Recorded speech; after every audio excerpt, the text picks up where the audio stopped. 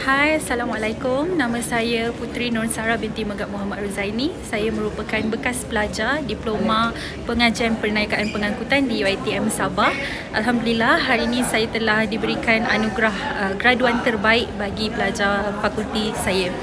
Okey, um, saya sebagai seorang pelajar berterima kasih sangat-sangat kepada UiTM kerana memberi kami peluang dalam um, belajar di sini dan terima kasih juga kepada pensyarah-pensyarah saya di UiTM Sabah yang banyak sangat membantu. Terima kasih paling terima kasih saya ucapkan kepada kedua ibu bapa saya yang sangat-sangat menyokong saya.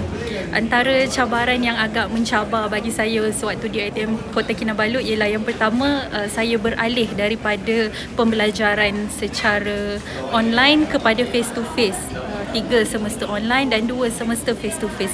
Jadi agak mencabar untuk saya um, uh, ikut fasa tu tapi alhamdulillah saya berjaya juga uh, sehingga dapat anugerah graduan terbaik dan anugerah uh, night chancellor.